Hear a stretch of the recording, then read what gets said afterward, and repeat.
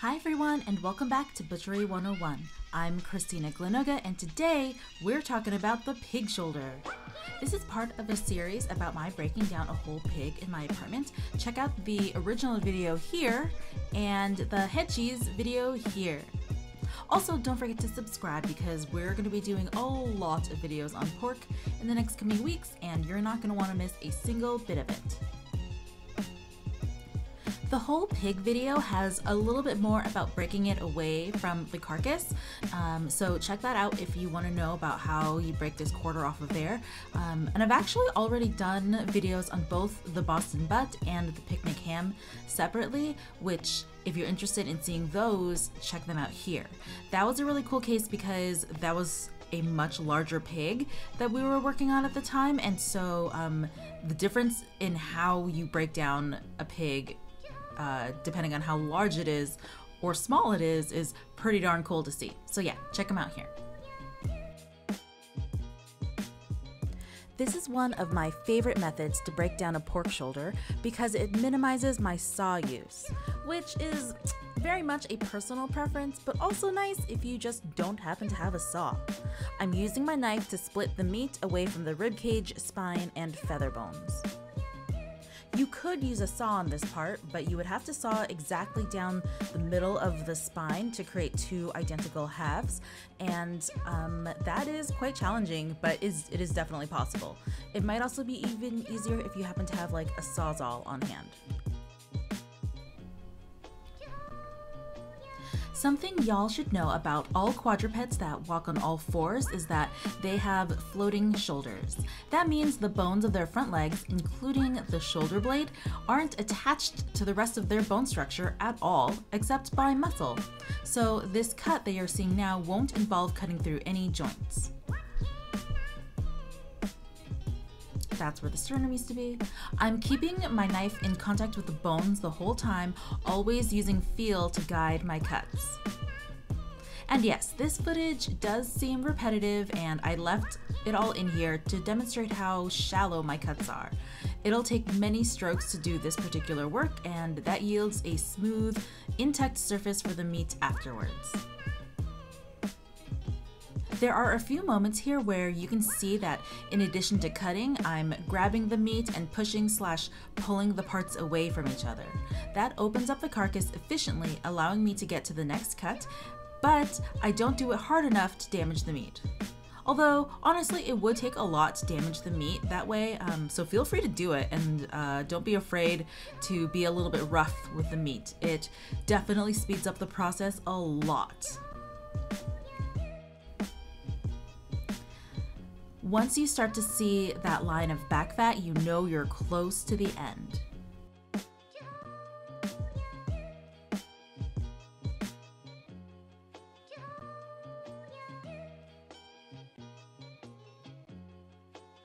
Shoulder is one of my very, very favorite cuts, and I'm so excited to be sharing this with y'all because the fact is that these muscles all have a ton of flavor, and I really wish more people would cook with them. Um, and so I'm really excited that we're here to keep talking about it.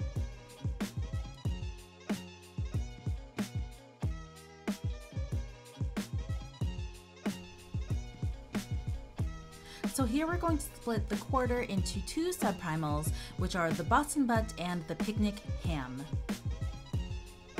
And oh my gosh, it's so crazy to see how small this is. Um, most of the time, you'll see Boston butts in the grocery store or your butcher shop, and they will be two or three times larger than this.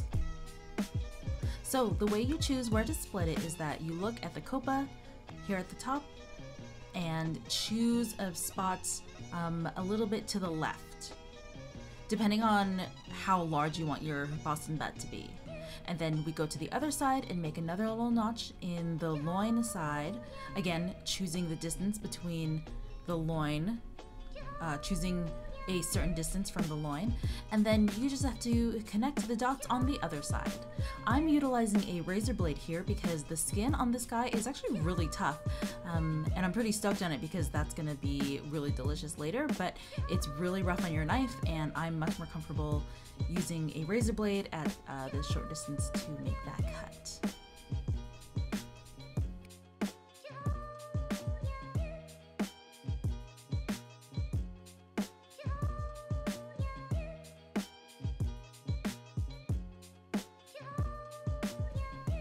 Now that we have the meat and the skin cut away, it's time to bust out the saw to saw through the shoulder blade.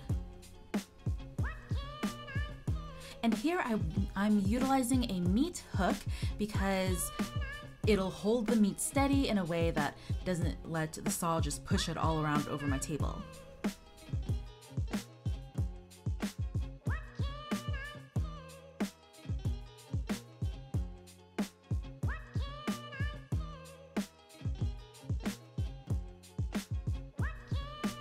The Boston butt is good to go. Hey team, popping in really quick to talk about the other super cool stuff Butchery 101 has to offer. The first are our rewards on Patreon. The tiers range from basic, which help keep all the lights on and me away from white supremacist and or otherwise gross billionaire money, all the way up to sponsoring an entire YouTube video every month. I'm especially excited about the Meat Nerd level, where you get a monthly one on one video chat where we discuss all your own meaty pursuits. Patreon memberships are great for people who want a bit more meat education in their lives while also dismantling the patriarchy. It's also a really good spot for partnerships, so check it out if you're interested. Butchery 101 also offers online butchery classes and holiday consultations. It's great for folks who want to step up their small animal at home butchery game. We also accept one time donations via GoFundMe, which make a great gift if you want to donate in someone's name. My Patreon, Tock, and GoFundMe pages are all linked in the description below, and I super look forward to seeing all y'all over there. And now, back to the show.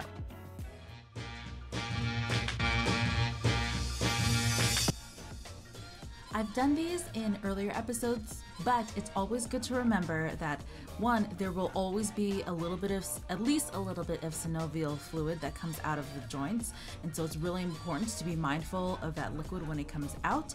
And then two, it's really important to utilize weight and gravity to get through all these super strong tendons that are in these parts. And the skin, again, here is extra tough, so that's why I'm utilizing the razor blade. No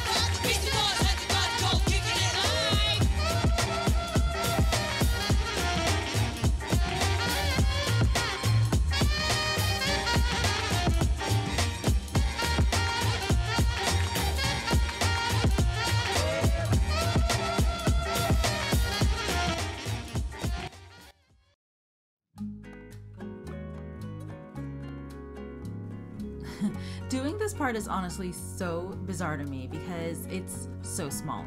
This pig was only around 100 pounds or so, and normally I'm used to working on stuff that's like 150 pounds, if not 200 pounds, and so it's just so interesting to see this difference in the cuts. Anyway, um, my original plan was to use this flat portion of the picnic ham for grind and sausage and like maybe a little charcuterie, um, but it's so thin that I think it would actually be really good as bacon. Also, this pig only had, I mean, not that large a belly, because again, it's not that large a pig, so I'm really excited to have two more slabs of bacon.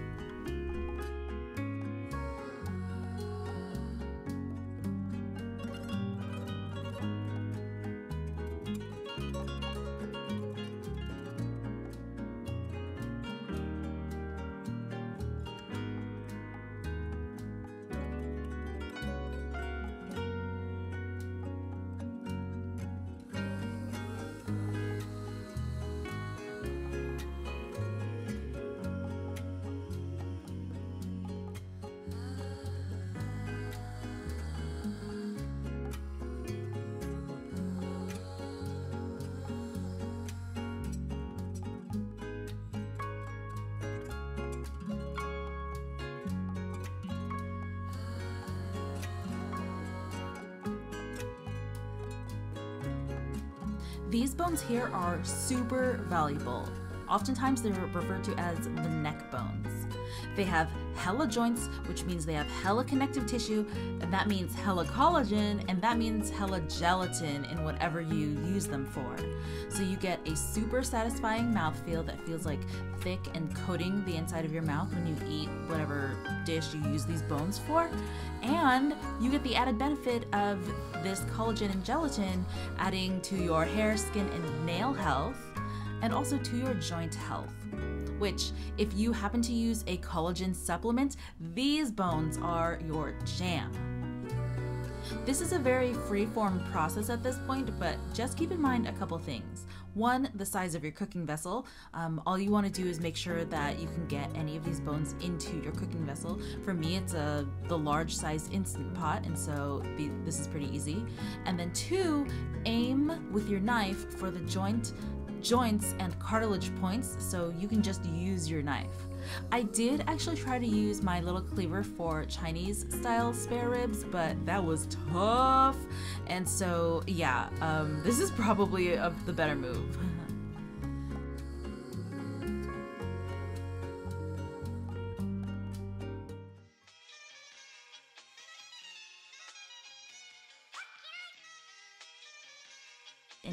now I want to let y'all know what it is that I'm doing with all of these awesome pig parts. So the Boston butt is, well, one of my Boston butts is currently vac sealed and frozen for later use, but the other one is dry aging currently. And as of record the recording time of this video, it's about five weeks into dry aging, and I'm super excited about it. If you want to check out more info on the dry aging process and um, the way that these dry aging projects are going, here's a link to the live streams that I do Tuesdays and Fridays when I check in on them.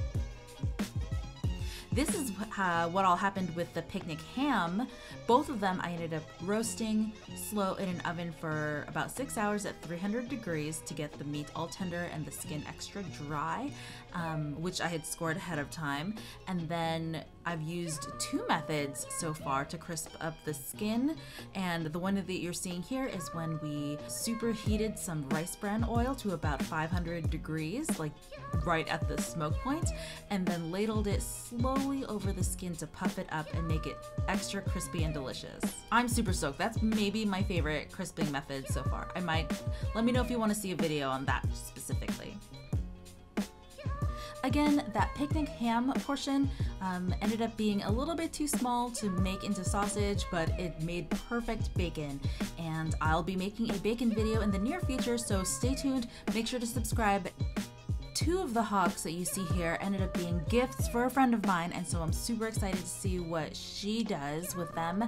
And then the other two are still frozen in my freezer, and I'm looking forward to a cold winter's day where we make like a really nice, you know, gelatinous stewy broth situation. Um, again, stay tuned, and a lot of times I'll be posting this stuff to Instagram, so make sure to follow there too.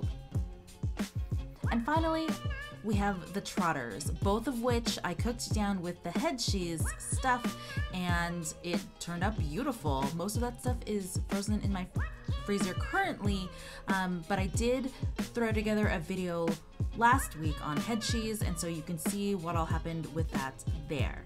Here's the link. Thanks again so much for watching.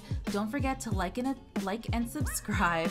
Thank you so much to the Patreons who helped make this happen, and I'll see y'all next week for another episode of Butchery 101. Thanks. Bye.